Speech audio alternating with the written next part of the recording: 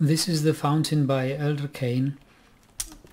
It is uh, similar to a fountain he has built in the over 9000 city or something. I haven't seen it, but I've I heard that it is somewhere in the videos of uh, Death Bagel.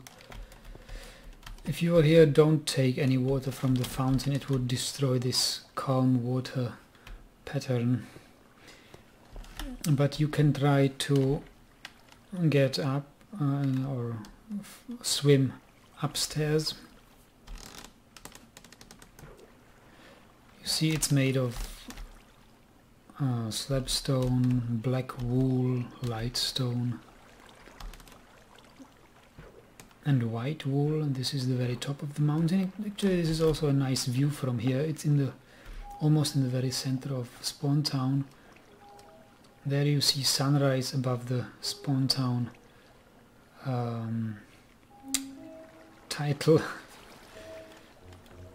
letters. It's like Hollywood, Hollywood, and uh, here we see a very interesting house made by Zipware. I must show you that. Quite successful construction of a cafe. Maybe we will do that first.